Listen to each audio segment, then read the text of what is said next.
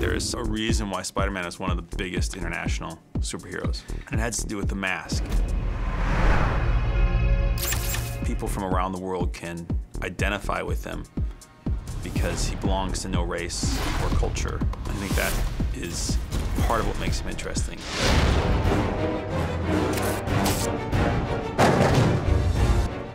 He gains all these powers. It was a revolutionary thing that he wasn't a sidekick.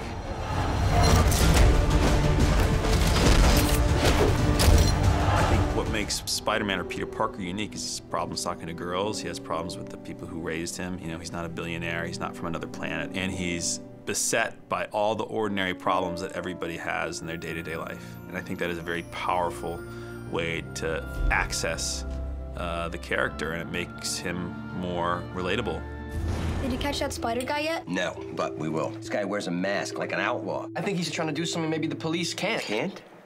And the other thing is, there, I think there's something in the comics which we hadn't really been explored cinematically as much, which is his wit, you know, his humor, which I think is really a big part of the the, the, the DNA of the Spider-Man character.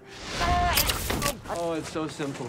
Let me go! What the? Left hook, jab, jab, left, left. Stop it! Stop. Stop. Stay right.